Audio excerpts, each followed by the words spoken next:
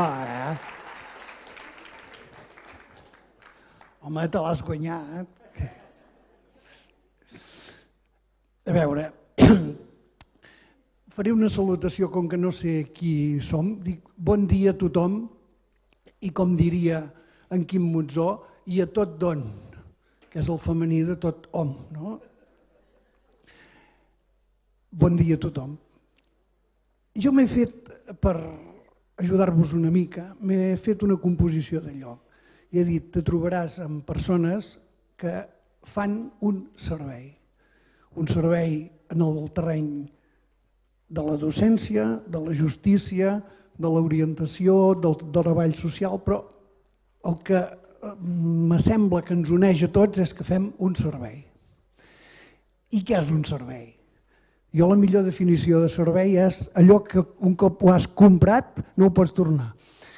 Si és un bé i no funciona l'aparell, doncs tornes i el tècnic diu te'l canvia. Un servei, un cop fet, està fet. Eh? I nosaltres fem un servei. I som responsables del nostre servei. I prou, i prou. I mm, aquest i prou insistiré una mica més perquè em sembla que és molt important per la nostra salut mental. Eh?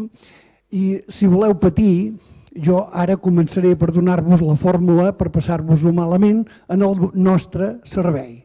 Eh? Eh, no, no és una descoberta meva. O sigui, la millor manera, si ens ho volem passar malament, és assumir un objectiu que no podem atendre. Eh? Ja està aquells objectius que formulem en els projectes de treball, la pregunta és, aquest objectiu me'n puc fer responsable com a professional o senzillament és una direcció de creixement que m'ajuda, que m'orienta, però no és la meva responsabilitat. No hi arribaré, ja ho sé que no hi arribaré, però jo faré alguna cosa per tirar endavant en aquest aspecte. Per orientar això, m'he fet tres preguntes. La primera pregunta segur que us sorprèn. Què és l'educació? Ja ho sabem, a poc a poc, poc a poc. La segona pregunta és, i què hi podem fer nosaltres en aquesta cosa que anomenem educació? Diu, home, ja ho sabem, a poc a poc. I la tercera pregunta és, us donaré unes quantes pistes a veure si us ve de gust. Diu, ui, tenia una que m'ha anat bé. Eh? I aquesta me la quedo i ja la començo a posar en marxa eh, durant aquest estiu i, i m'anirà bé pel curs que ve. No faré res més que això. Vull començar amb una cosa molt elemental. Fa dos dies al diari, primera plana, no del diari sinó de diversos diaris, hi havia una notícia que deia Carles Domingo Enric és el primer català que treu la màxima nota de selectivitat. Nota, ei, primera pàgina dels diaris, eh? amb fotografia inclosa. Molt bé. Eh? I tothom content. Això és una notícia. Però els 300.000 individus i individues que han suat com a bojos per arribar a aquell cinc pelat de selectivitat que els hi permetrà estudiar alguna cosa, on són? Aquests no en parlem. Parlem d'en Carles, que em sembla molt bé i el felicito i fantàstic, però a veure què ha passat aquí, a poc a poc Després vindreu i em direu, no, la, com en diuen allò, la filosofia de l'esforç. Sabeu què ens diu en Carles? Diu que només cal estar atent a classe.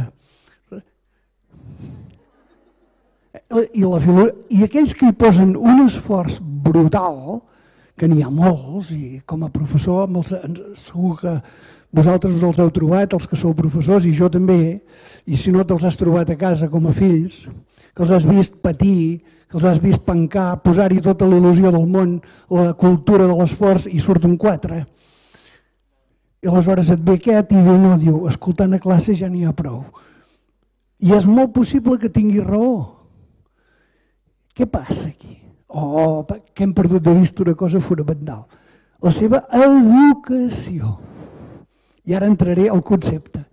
Fa una estona parlava amb el, la persona que ha fet la ponència abans, Jauregui, perdó, i em permetrà que parli del seu pare. El seu pare era un aficionat a les bicicletes eh? i descrivia el primer moment de la vida de tots nosaltres eh? com una cursa de bicicletes. eh, que pujaven al, al Turmalet, allà dalt de tot. Allà dalt de tot el Turmalet hi havia l'òvul, un òvul. Tots vam començar per aquí, eh? Tots. I aquell òvul pujaven els espermis, els espermatozous, escolta, com uns desesperats per aquelles pujades. Eh? El primer que arriba, diu, arriba mort, cansat i no, no, no, no fecunda l'òvul, pobret, no pot, està mort. I el tercer i el quart, i el senyor Jauregui, pare d'aquell senyor d'allà, diu, sabeu què pot passar? Diu que el que fecunda l'òvul sigui el tonto del poble, eh? I acaba i diu, Jauregui, diu, és que la, la natura comença jugant amb nosaltres ja aquí, els enginyers genètics, deia ell eh, comencen funcionant per aquí. I a mi és una, una metàfora que m'ha agradat molt.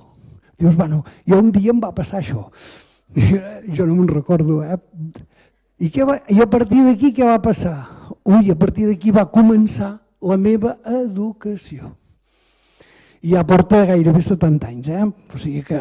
Pff, però he après cada borrada, he après cada tonteria, hem après cada bestiesa, cada limitació, cada por, cada vergonya, Ningú no ens ho ha ensenyat, no hi ha cap currículum que posi aprendre a tenir vergonya. No, no, no, però n'aprenem, eh? N'aprenem a avorrir-nos, aprenem cada cosa que, que, que és tremendo. Però això és la nostra educació, aquesta història personal que va començar un dia, que un òvul, que igual era el tonto del poble, va fer, perdó, que un espermi, que era, va fecundar un òvul. I ara sóc jo aquí 70 anys després. Eh, mireu, bueno, déu nhi vull dir, va anar prou bé la cosa, eh? Podia haver força, estat força pitjor. Però l'educació és això, és aquest període, aquesta història complexíssima en la qual cadascú de nosaltres s'ha construït a si mateix. I què ha passat amb aquesta història? Passen unes quantes coses interessants. Primer, que només en tenim una. Cadascú té la seva. I si a mi m'ha anat malament amb les mongetes, odiaré les mongetes, per més que em diguin que són molt bones i molt aconsellables. Però és la meva història personal, és la meva educació. Eh? Què ha passat? No ho sé, m'he enrampat, he renyit amb la meva mare, m'han renyat, m'han passat coses al col·legi. Eh? Què li ha passat a, a l'amic Carles, que té un, un 10 de selectivitat? Segur que li han passat coses molt interessants que li han anat molt bé. Però és que hi ha una segona cosa. Aquesta història és meva i és la meva. Si algú de vosaltres me la vol canviar, m'enfadaré molt, eh? I em direu per què? Molt senzill, perquè només en tinc una. Si me la voleu canviar no en tindria cap. Això fins i tot Freud ho deia quan parlava del tabú. Deia, no desmunteu un tabú, canvieu-lo per un altre, perquè sense tabú no t'aguantes. Eh? I aleshores dius, això és la meva història, la meva educació. Però, a més a més, aquesta educació no me l'he triat. Només m'he triat trossos. A mi ningú em va dir si volia ser català, eh? no sé vosaltres, però a mi no. Eh? Ningú em va dir pots escollir això, pots, es, pots estudiar per aquí, pots... no. Eh? I m'he interessat per coses, sí, perquè he tingut la sort de que me funcionessin unes coses i he viscut èxits i m'han anat bé i vosaltres també. Però és la nostra història. I quan parlo d'educació, vull dir això. Aquesta és l'educació, la nostra història. I per això hi ha aquella data que em sembla que és tan bonica i tan repartida de dir per curar una persona necessitem un metge. Per educar-la, tota la tribu intervé. I quan, com que intervé tota la tribu, hem d'anar en compte, eh? perquè pot ser que nosaltres remem en una direcció i la tribu remi cap en una altra. Estem dient la cultura de l'esforç. I aleshores surt a primera plana un noi que ha tret un 10 perquè ha tret un 10, no per al seu esforç. Ell mateix ho diu, eh? no, no, no ho he dit jo. I aquells que han fet un gran... Aleshores la nostra cultura és la cultura de l'esforç o és la cultura de l'èxit i dels resultats? I en aquí entraria el primer punt. Els resultats són importants, eh? Però per, si jo vull aconseguir un bon resultat, què necessito? Un bon procés per aconseguir-lo. I ens estem fixant contínuament amb els resultats. Eh? Els resultats, les proves PISA, les proves no sé què, el no sé quantos, el test de no sé què. La pregunta és, aquests resultats han vingut d'una manera determinada de fer les coses, d'una educació determinada. I si canviem el que fem, I si canviem el, el que fem, què passarà? I aquí és on podem intervenir els educadors. Podem canviar el que fem. Abans es parlava aquí d'una cosa que jo hi afegiré una idea perquè em sembla que és molt bonica. Es parlava de l'humor. Eh? Però si aneu aquí al costat de Barcelona hi ha una, un centre que atenen persones amb dèficits realment molt seriosos. O sigui, persones que s'han quedat immòbils, que, que, que paraplègics, etc. I quan els preguntes i dius, escolta, tu com és que no et fots un tret, com que és que no estàs desesperat de la vida? La filosofia és senzilla. Diu, jo no necessito moure'm, no necessito les meves cames per ser feliç. Evidentment les desitjo, i tant. Però en el moment que confonem un desig amb una necessitat, comencem a embolicar la troca. I el que interessa és el que necessito per ser feliç. Si a més a més tinc un bon cotxe i em surten bé les coses, benvingut, eh? però no ho necessito. I això és la lliçó que moltes vegades ens donen persones quan compartim la seva educació, la seva història personal. I aquesta història personal té un altre component, que és molt bonic, que és que som uns tossuts impressionants. Ara tots vosaltres, si jo us dic una cosa que no encaixa amb el que penseu, començareu a pensar com m'ho podeu xafar, com ho podeu bombardejar, i fareu molt santament, eh? Fareu molt santament. Per què? Perquè us incomoda. I a dintre la vostra educació personal no, no hi cap. Eh? Si ara jo vull convèncer-vos a vosaltres que cal ser uns mentiders impressionants, jo tindré problemes amb algú, eh? no n'hi ha que no, però eh, suposo que tindré problemes amb algú per convèncer-lo. Eh? Per tant, aquest primer punt, jo diria, tenim una educació que és educació no. Educació no existeix. Som educacions, cadascú la nostra, i volem que ens l'acceptin. Eh, no que hi estiguin d'acord, però que ens acceptin que podem tenir mal humor, que ens podem equivocar, que etc etc. Que ens acceptin, que tenim por, eh? i no passa res. Eh? I que no, totes aquestes coses les podem canviar, sí. I aquí ve el problema, la feina dels educadors. És a dir, jo tinc uns recursos i amb aquests recursos visc, però em puc tenir de millors de recursos. Hi ha una, un axioma que jo me'l crec. Jo dic, cada persona s'espavila per ser feliç. I com ho fa? De la millor manera que sap que no és la millor manera possible. Eh? És dir, tu veus un nano que està intentant tenir un 8 de matemàtiques. I què fa? Tot el que sap per obtenir un 8 de matemàtiques. Però hi ha coses que pot fer i no sap que les pugui fer. I aquestes coses són les que els educadors podem intentar ajudar a aprendre. Eh? No, no podré insistir massa en com fer-ho, però podem. És dir, si jo modifico el com fas les coses, si jo et dono un recurs nou, Eh? I aquest recurs què serà? Una experiència. Aquí hi ha molts mestres i us en posaré un exemple perquè serà fàcil. Imagineu-vos l'ortografia. Eh? Vosaltres suposo que teniu algun alumne que fa faltes d'ortografia. A vegades n'hi ha algun, eh? Sí, sí. I, i tu agafes aquell nano i li dius, escolta, tio, m'has fet 14 faltes amb 30 ratlles. Eh? I, però el que no li dius és que t'ha escrit 200 paraules bé. Això no li dius, això ja ho sap. Però si el que vol és saber com ho ha fet per escriure bé les 200 paraules, no saber com ho ha fet per fallar-ne 14. I em direu, i això com ho fem? Intentem, després us donaré alguna pista més pràctica, intentem fer una cosa tan senzilla com proposem-li una experiència. Imaginem que a aquest nen li dic, escolta, eh, abans de començar a escriure, vull que me posis un sí o un no abans del text. Si vols fer-ho bé, poses un sí. Si t'és igual, posa'm un no. Si me poses un sí, jo no diré res. Eh? Ai, si me poses un no, jo et deixaré passar tranquil·lament i ja està, ja m'has dit que no. Ara, si me poses un sí, jo t'ho miraré això, a veure si està ben escrit o no. Què ha passat aquí? Aquí entrem en el terreny de la comunicació. És molt més seriós. Què li estic dient jo a aquesta criatura? En aquest adolescent. Estic dient una cosa molt important. Estic dient, l'ortografia és cosa teva. I, i ets, ets tu el que pots triar si ho fas bé o ho fas malament. Però no li faig un discurs. proposo una experiència. Tria. Eh? Proveu-ho i veureu com vas creant una descoberta perquè què li passarà? Ara o què faig jo? Escric bé o malament? Ja tinc un problema. Això és nou, això no hi era abans.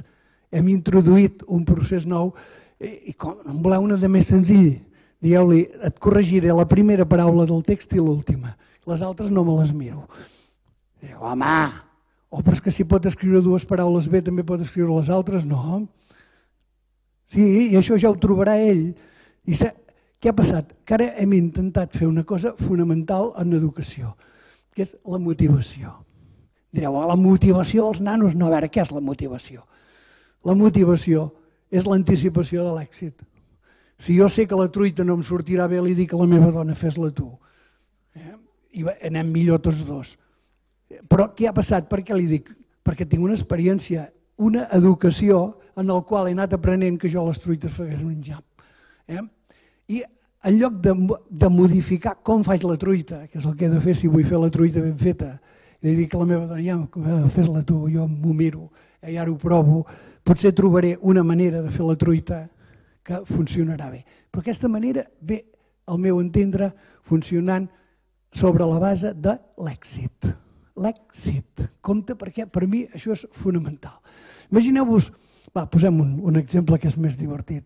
Una persona que es menja les ungles, amagueu les mans els que tingueu problemes, que si algú es menja les ungles, que a vegades n'hi ha algun en una sala com 200 persones, igual n'hi ha un que es menja les ungles.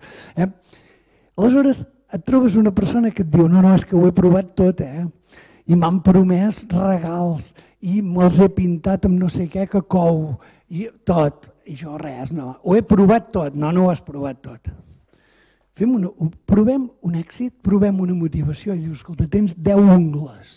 Sí, amb nou passaries rosegant-ne nou? Home, diu, sí, eh? sí. Doncs au, tria la que fa 10 i aquesta me la guardes per mi. I en tens nou per anar jalant. Eh? Què ha passat? O que, i ara ja parlo per experiència, amb un percentatge elevadíssim, ara depèn també d'aquesta persona i de, i de la seva educació i de les coses que hagi fet, perquè igual aquesta nena o nen arriba a casa i la seva mare li diu la criatura diu, he trobat la manera per no menjar-me les ungles. Què has d'haver trobat? Oh, la manera de la Ja està. és molt possible que s'hagi acabat el... perquè hi ha una cosa que és la xarxa, que són les relacions humanes la, i l'educació d'aquesta persona. Però clar, és tan complex tot plegat que dius no, l'experiència és l'única cosa que... Per tant, l'educador què fa? L'educador fa possible l'aprendre. Res més. Fem possible. No ensenyem, eh? ni fem aprendre, no hi ha manera de fer això. Eh? I si no, eh, penseu que hem anat tots de petits a missa moltes vegades i ens han ensenyat a anar a missa i, i quants n'hi anem. Eh? És una evidència bastant, bastant clara de que potser les coses, una cosa és ensenyar-les, l'altra és aprendre-les. Aprendre-les vol dir experimento, vol dir em motivo. I em motivo per què? Mm, vaig a fer un, vaig atrevir, però és que el que sap més de motivació a Espanya sóc jo i per tant no tinc por de dir-ho. Jo crec que la motivació implica dues coses. La primera cosa és una cosa que jo vull, no que he de fer, eh? No, jo la vull, aquesta cosa. Vull fer un amic, vull resoldre un problema, vull escriure bé, vull afinar una melodia, vull, vull això. I ara ja em puc motivar. No, encara no, perquè si fracasses et desmotivaràs. Per tant, motiva't per una cosa que a més assegures que, que funcionarà. Si et veus en cor d'escriure 10 ratlles, prova d'escriure en 5. O dues, assegura't de l'èxit, perquè l'èxit ens portarà endavant, ens farà créixer. Ens... Eh? Llavors els nanos a vegades m'ho diuen, eh, Ramon, l'anglès no l'entenc i, s'han passat quatre anys que mirant les estrelles i, i gaudint de la seva adolescència, que tenen molta feina amb això, i és clar l'anglès no, no hi cap. Eh? Llavors, dius, que ara aprendre anglès és un fantasma, però pots aprendre una cosa d'anglès cada dia, cinc minuts abans de sopar. Eh? I cada dia. Per què cada dia? Perquè som uns tossuts terribles i allò que només ho fas una vegada és allò de començaments d'any no prometem l'oro i el moro, eh?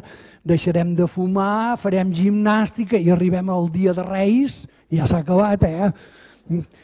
Què ha passat aquí? Que han tornat a la nostra tossuderia habitual. Per tant, me direu, i els educadors, com vaig de temps?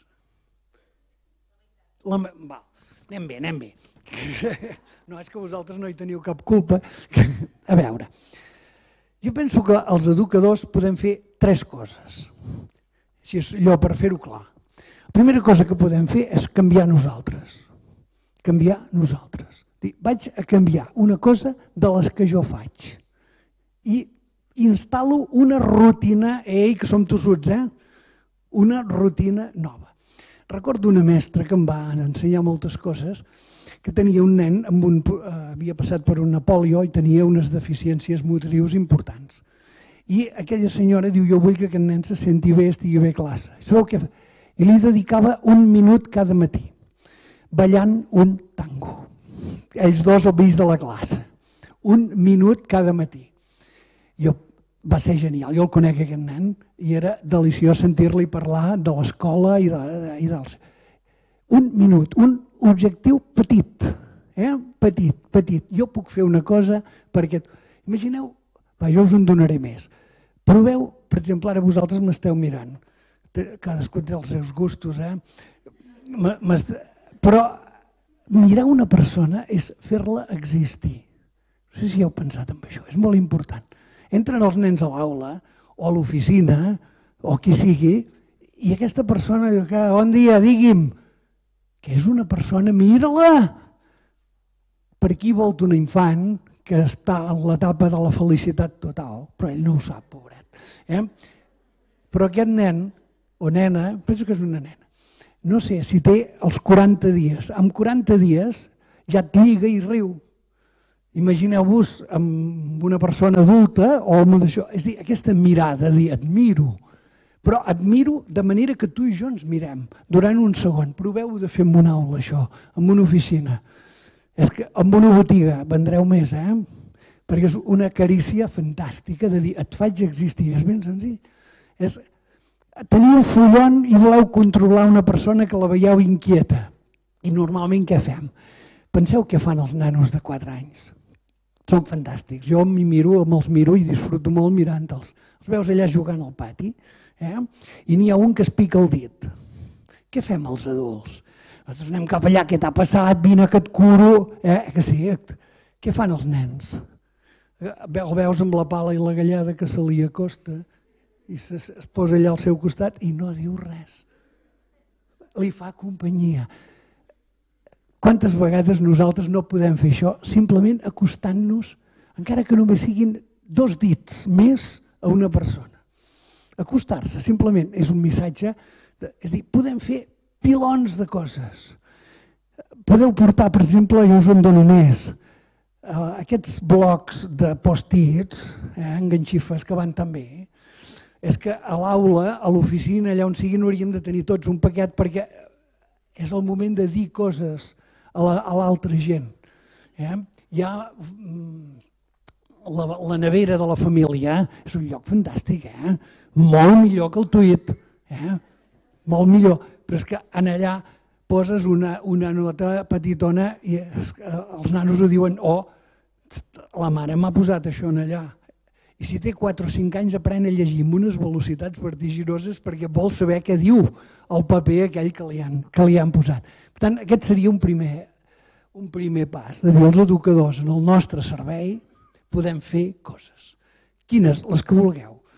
Petites, petites, petites i rutinàries. Dir, ara jo vaig... Això és el que feien els japonesos després de la Guerra Mundial. De dir, tu vas a treballar i fes alguna cosa nova cada dia durant mig minut per millorar el teu benestar personal i la teva, i la teva feina en el d'això. Fes-ho això. Us imagineu 7.000 milions de persones que hi ha en aquest món que tots de dediquéssim al dia 20 segons a millorar la vida de tots? Faríem miracles, eh? No pas més. No, no. Segona cosa, li podem demanar a una persona que faci coses. que faci coses perquè experimenti coses noves. Poso l'exemple de l'ortografia. Eh? Us n'explico un altre. Aquest és viscut a l'institut i va ser molt interessant. Amb un bailet que se'ns barallava cada, cada dia a l'hora del pati tenia, en sabia molt, es, es barallava. I, Escolta, tu en saps de barallar-te? Sí. Per tant, domines el tema. Eh? Igual que l'ortografia, que et ve el nano diu jo sé fer faltes, dius escriu el nom del teu pare i la teva mare. M'has enganyat, en què quedem? O diu això és fàcil, per tant tu no fas faltes. Hi ha un, una part del llenguatge que l'escrius bé i n'hi ha una altra part que no. Vigila eh, amb quina banda vas i com, doncs el, aquest és una mica, ara, ara m'he perdut, on t'anava jo? Sí, la baralla, eh, que sí, que és interessant. I li vam preguntar, li vam preguntar al cap d'estudis el va cridar, li escolta tu, et baralles cada dia o cada dos dies, això no pot pas ser, sempre hi ha problemes i algú... Vols continuar o plegar? Què vols fer? Home, que jo no vull, que em molesten i tal. I a l'institut varen ser molt bons i van fer una intervenció, al meu entendre, genial. Li varen dibuixar un plànol del pati eh? i li van fer quatre zones. Una de groga, una de vermell, una de... i li van dir tria tu tria la zona per barallar-te. És a dir, si tu necessites barallar-te, faltaria més. Eh?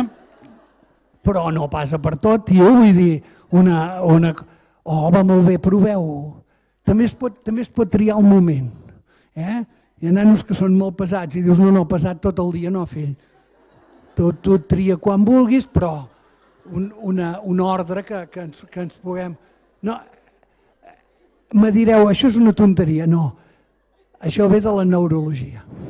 Això ve de, de, de les àrees prefrontals que organitzen la vida. Si jo planifico la meva vida tinc molt més control. I als nanos els hi va molt bé això. Perquè creixen i després tenen 18 anys o en tenen 14 i tenen una moto i van sols. I què necessiten? Autocontrol. Saber què volen fer, on aniran, planificar la seva vida. I això no s'aprèn en paraules, s'aprèn. Per tant, podem fer aquest segon joc, que és dir, tio, jo et demano coses a tu que les facis precisament perquè puguis descobrir coses tu mateix pel teu compte. I podem fer una tercera cosa, que és buscar un recurs social. A vegades un, un nen, una nena, un noi, una noia, una persona necessita un recurs, una escola d'adults, un, un centre d'atenció primària o el que sigui. I aquesta és una altra feina, un altre servei que podem fer molt bé els educadors. Aquestes tres coses, tres coses. Però aquestes tres coses, ara ve la grossa, les hem de planificar nosaltres. I per mi hi ha, si puc girar full, hi ha tres coses, o, o quatre, quatre. Ai, Déu meu, senyor, si ho, té, ho, he, ho he apuntat, ho tinc apuntat. Eh? Sí. La, he apuntat quatre coses que impliquen dissenyar una acció o bé nostra o bé que la demanem a l'aprenent. Eh? Quatre. La primera és que sigui nostra.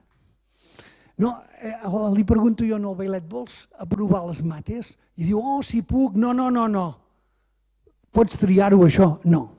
Doncs això no és un objectiu. Això és un desig que mirarem d'aconseguir-lo i tal. Hem d'aconseguir una cosa que tu sigui teva, que tu la controlis. Jo m'asseuré cada dia davant del meu llibre de matemàtiques i faré un problema. Dius, no, no anem pas bé. Et llegiràs un problema i prou, no cal que el facis. És dir, el tiro més avall, per què? Perquè busco l'èxit. Eh? Busco l'èxit perquè l'èxit em portarà la motivació. No sé si veieu per on vaig. És que és, és fonamental aquest circuit. Eh? En segon lloc, anticipo l'èxit. O sigui, si el meu objectiu penso que no me'n sortiré, que tinc dubtes, no em faig un de més senzill. És dir, jo tantes vegades, aquest nano l'hem de supervisar, vigilar, aquesta persona pot fer disbarats, aquest necessiten el, el terapeuta, etc. Bueno, sí, la pregunta és què puc fer jo? I ara d'aquestes coses que puc fer jo, quines escollo que sé que les faré o que les faran i que per tant es produiran. Tercer, transformar-les en rutina. I ara això ho farem cada dia, eh? ho faràs cada dia, si pot ser al mateix lloc i al mateix moment. Em direu, realment produeix canvis? L'experiència és que sí. Us explicaré un cas perquè ens, ens va sorprendre molt a tots el ser un nano, fa, ja fa anys d'això, eh? un, un bailet de 15 anys, consumidor de, de marihuana a base de vi, en fi, anava sol pel carrer, els seus pares l'havien abandonat, una senyora que, li, que havia estat companya del seu pare se'n cuidava, aquella senyora ja no sabia pas... I li vam fer, ens vam adonar que estava sol. I vam dir, no, no, hem de fer un objectiu d'ajuda. I l'objectiu d'ajuda va ser cridar-lo i dir, escolta, ens dones permís per enviar-te un SMS al mòbil quan nosaltres vulguem? Home, i tant, doncs ja està. Res més, no, no, res més, només això. I vam, un educador social es va dedicar cada 3-4 dies a enviar-li un missatge, dir-li bones tardes, què fas? Eh? Vam, al cap de 3 setmanes el bailet va demanar per veure l'educador social. I a partir d'aquí eh, va començar a canviar coses. Però moltes vegades un gest, un objectiu d'intervenció, petit, però tossut, eh? Tossut. És allò que li dius, tu, bailet, què vols fer? Eh? O senyora, què vol fer vostè? I la senyora diu, és que no ho sé. Molt bé, quan li, quan li torno a preguntar? No ho sap, fantàstic, jo li accepto, però jo insistiré. O d'aquí una setmana li puc fer una trucada i puc tornar a preguntar? Sí, va, cap d'una setmana truques i dius, oh, no hi he pas pensat més. D'acord. D'aquí una setmana puc tornar a preguntar i dius, fins quan? Fins als 82, eh? després si ja et jubiles i plegues. Però dura, perquè penseu que aquesta pregunta insistent està obrint experiència dintre la persona és una pregunta que la persona porta i que li anirà sortint. No sé, és allò dels nanos que a vegades dius, per aprendre a llegir els hi ensenyem, els hi fem llegir una paraula cada dia. I la gent diu, és poquíssim. O no, cada dia a l'hora de sopar una paraula. I tenen tot el dia per aprendre a llegir una paraula. Eh? I veus el bailet que aprèn a llegir la paraula, que passa pel carrer i diu carnisseria.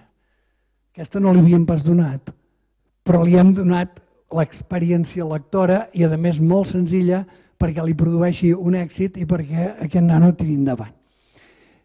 L'objectiu, la intervenció, és una intervenció que nosaltres en diem estratègica. Estratègica vol dir que porta mala fe. O sigui, que, que la, la, la intervenció que fem no és una intervenció anodina, no, porta mala fe. Està a sota hi ha alguna cosa. Jo vull que dues persones s'entenguin, posem per cas, i penso, això pot ser bo per elles. Eh? D'això nosaltres en diem una incapacitat inconscient. És dir, la persona no sap que sigui incapaç de fer una cosa. I ara l'educador entra i diu no, jo vull que ho aprenguis a fer això perquè penso que això t'ajudarà i et pot fer feliç i et pot fer útil. I t'ensenyaré molt bé. I ara dius, què faig? No, comença per fer una cosa. Què fan les persones per entendre's? Home, trobar-se fer-se ofertes, no sé què. Vas pensant i apareixerà una cosa, petita. Aquesta cosa la col·loques com una rutina, eh? que vagi fent forat. Eh? I és, és espectacular perquè les persones són persones, volem ser estimats, volem ser tinguts en compte i a vegades vivim un espòs en la nostra educació personal, vivim un espòs terribles que, que ni, ni, i ens preguntem per què tinc por, en lloc de dir, hosti, sí que en tinc que és el que em passa i per més. Per últim, ja acabo, eh? us donaré un, dos, tres, quatre, cinc idees. Per si us en ve de gust alguna idea, són molt senzilles. Eh? eh? Si us hagués considerat intel·ligents, jo els hauria plantejat coses més difícils, però ja veieu com anem la cosa. La primera cosa, hi, ha, hi va haver un senyor que no sé si el coneixeu, que es deia Rizzolatti, em penso que encara s'ho diu, eh? que va descobrir una cosa fantàstica, que són les neurones mirall. I va descobrir coses que poden fer les neurones sense que les fem nosaltres. O sigui, per exemple, eh, es va descobrir que aprenent a imaginar la mà al damunt de la teclat d'un piano, també s'aprenia a tocar el piano no tan bé com amb el teclat i tota la pesca, però aquest gest de motor, de, de interioritzat, feia que aquell cervell generés estructures i això eh, quan es va estudiar. Però el que va descobrir Rizzolatti és que tots tenim dintre nostre unes neurones. I aquestes neurones fan de mirall de les altres. Per exemple, tots vosaltres m'esteu atribuint a mi alguna cosa. Quina mena de persona sóc, si, si, si em vendríeu, em compraríeu un cotxe de segona mà o no. Eh? M'esteu fent una teoria de la ment meva, fantàstic, que, que... però eh, evidentment, com ho hem fet això? Perquè, ho heu fet perquè sense adonar-vos-en esteu fent, i jo també ho estic fent, eh? esteu analitzant i llegint les meves intencions. Les meves intencions. Compte que els nanos, per exemple, i les persones adultes, però els nens molt més, copsen la intenció que tens. És allò que dius, seu, i el nano no seu. I dius, no, no m'ha obeït. No, perquè tu, quan has dit seu, ja pensaves que no s'hauria. I per tant, els teus muntatges mentals eren ja sé que no s'haurà. I a vegades fins i tot li dius, i si no seus rebràs. Amb la qual cosa el veilet diu, home, he de fer el que tu em demanes, que és no seure, ja m'has avisat de, del que passaria quan no segués, no fotem, vull dir, aquest és una mica el... Aquestes neurones mirall de, de les persones totes eh, són importantíssimes en un aspecte, en l'aspecte que les persones no podem fer comèdia. No hi ha manera. I ens ho pensem, no, jo ja li he dit al meu veí, ja he parlat amb ell, ja... No, no, no. Tu estàs transmetent el que sents, el que ets, com tothom. I els altres t'ho enganxen.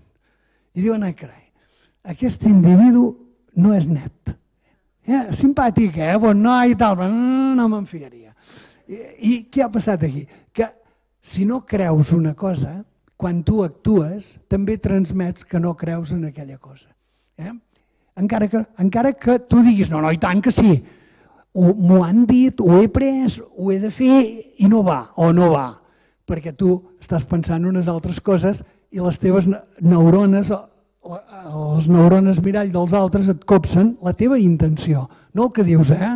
sinó la intenció que hi ha. Quantes vegades amb els, els petits són genials amb això.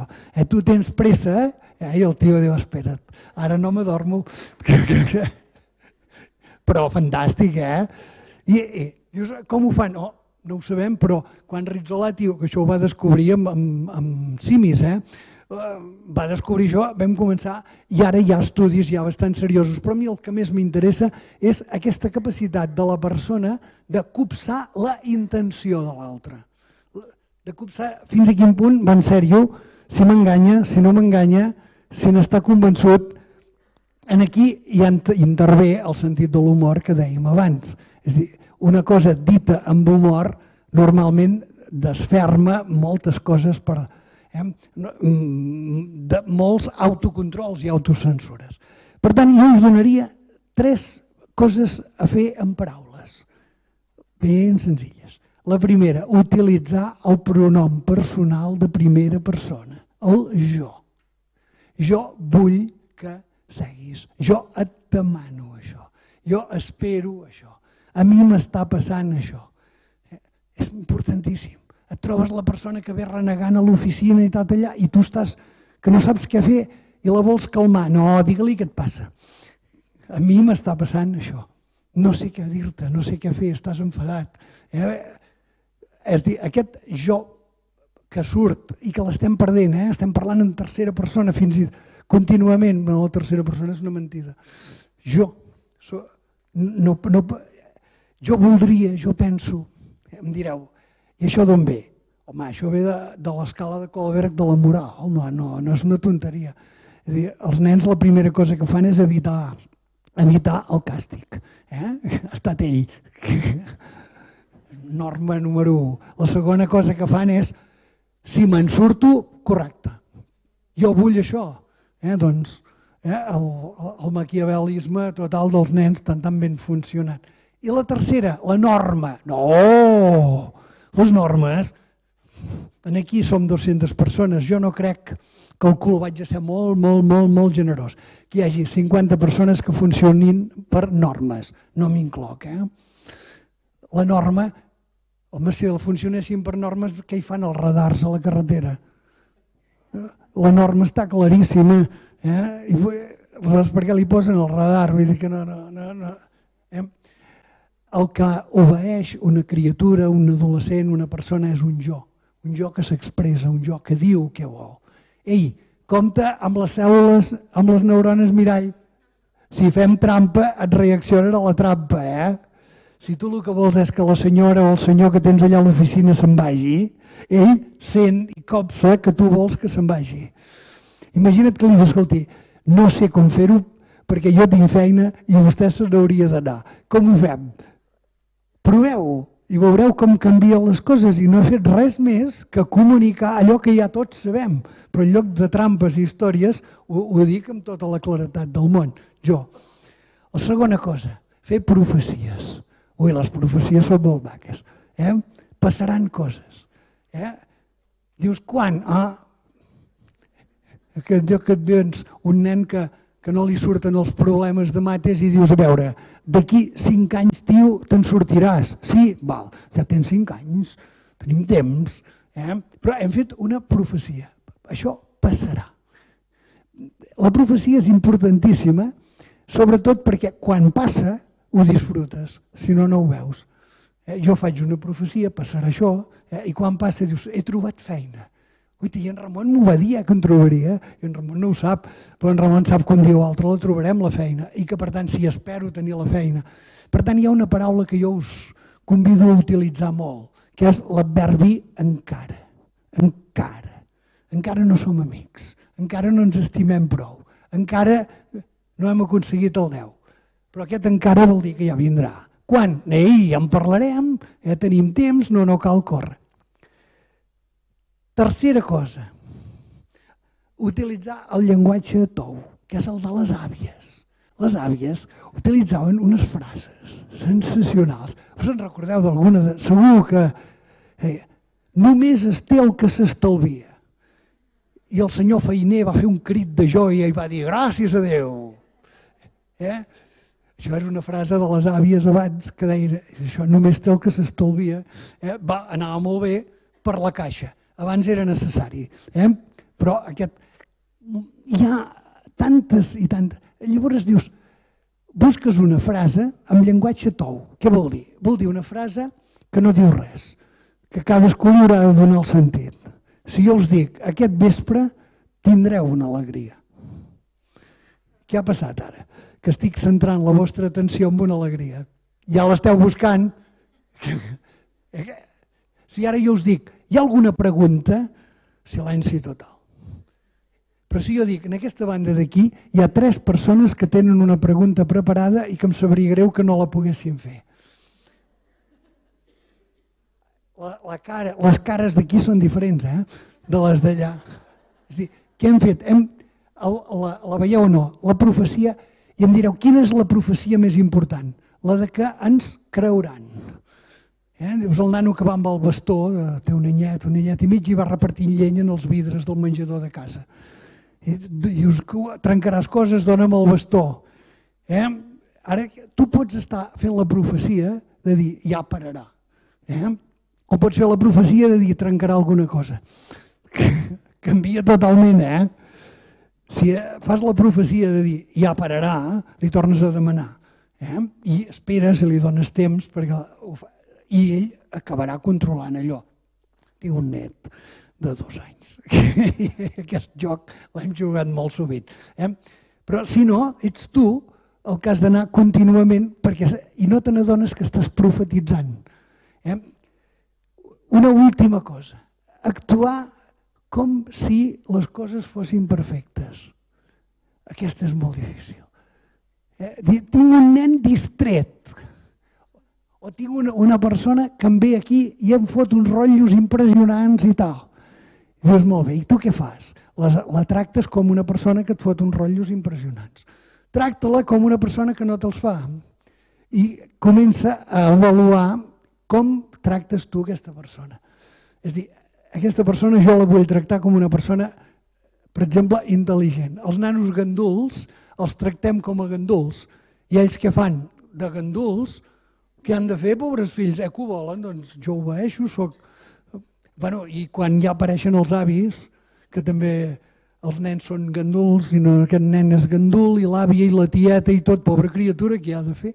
N'hi ha que no estan mai quiets, que no sé com ho fan per dormir. Eh? Vull dir, clar, et vas trobant amb, amb aquestes coses. Aquestes tres profecies, em sembla que són ben, ai, tres intervencions. El jo, la profecia, profetitzo el que passarà, i el llenguatge tou. Eh? Hi ha una nena que volta per Girona, que ja és una senyora, que va ser alumne meu i encara m'ho diu, diu, de tant en tant me'n recordo. Dic, de què? Diu de la frase, soc fresca com una rosa. Era la frase que jo li deia perquè era fresquíssima, no portava mai un deure fet, vull dir... Eh? Però alguna cosa li has de dir. Clar, la traducció ets fresca com una rosa pot ser ets un desastre també, però ella no, ella la traduïa com una carícia, com una cosa que li anava molt bé. Tinc dos minuts. M'agradaria, abans de, per acabar amb dos minuts, donar-vos, descriure un petit model de comunicació. Petit, molt senzill. Eh? Eh, primer, entendre que no és possible no comunicar. Això és eh, que sempre, sempre estem comunicant, estem expressant el que som i el que pensem. Que ho entenguin els altres o no, això ja és una altra pel·lícula. Però sempre, però moltes vegades ens estem trobant amb problemes de comunicació. I què passa amb aquests problemes? A mi m'agradaria eh, dir simplement dues coses. El que sol passar és que avaluem en lloc d'informar-nos i exigim en lloc de demanar. Posaré un exemple molt senzill. Imaginem una persona que, no sé, no ens ha pagat una factura. Va. Eh? Molt bé. I la, normalment la primera pregunta és per què no l'ha pagat. Doncs aquí ens estem equivocant. Perquè la primera cosa que necessitem és posar-nos d'acord amb que aquesta persona no ha pagat la factura i posem-nos d'acord sobre una informació. No l'has pagat. Molt bé. No passa res. És que jo... No, no, no, no. Tranquils, tu devies una factura i no l'has pagat. Ens posem d'acord. Ara jo igual sóc la creador. Molt bé, ara faré un segon pas. I ara jo expressaré el que em passa a mi, no a ella, eh? no, no sobre la factura. Jo comptava amb aquests diners, em sap molt de greu, no sé com fer-ho per cobrar-ho i tal, a mi m'està passant això. Fixeu-vos que he començat per una informació. Un institut, imagineu-vos un nano que fa una trapelleria. Posem-nos d'acord sobre el que ha passat. Sense jutjar-ho, sense avaluar-ho. En el moment que ho avalues poses l'altre a la defensiva. Eh? I quan una persona està a la defensiva no pot pensar. Eh? Per tant, la primera cosa que faig és posem-nos d'acord. Ha passat això? Molt bé. Ara jo t'explicaré què em penso i què sento jo d'aquest fenomen. Si em vols escoltar, encantats de la vida. I si no, no m'escoltis. Però jo t'ho explico. I t'escolto, si vols, que tu m'expliquis. I ara t'explicaré jo què necessito. Jo necessito cobrar. eh? I per tant hem de buscar una manera de cobrar. I ara puc acabar fent-te una demanda. Dic, molt bé, eh, quan puc estar convençut de que puc cobrar això, quan m'ho pagaràs, de quina manera, de quina manera pots fer-ho, de manera que n'estiguem segurs, faig una demanda. Però, atenció, que la demanda no ve l'exigència tot darrere. I si no ho fas... No, no, no, no. Jo faig una demanda i prou. Eh? Jo faig una demanda i prou. Això ho aprenen els adolescents i aconsegueixen la moto ràpidament. Eh? Quan aprenen a demanar i acceptar que els hi diguin que no que, que són la... Per tant, aquest procés de comunicació, estic parlant de conflictes, eh? Estic quan es produeix un conflicte. A veure, primer, no ens avaluem. És que tu, no, no, i per què? No, què ha passat? Posem-nos d'acord sobre una dada, sobre una informació. Has trencat el vidre. Molt bé, ja està, no passa res. Ara jo t'explico què em passa a mi, què sento jo i què penso jo. Eh? Això, la primera cosa. I després què faig? Et demano el que jo necessito. Jo necessito que quan tornis a trencar un vidre m'ho diguis. Només necessito això. I t'ho demano i ja està.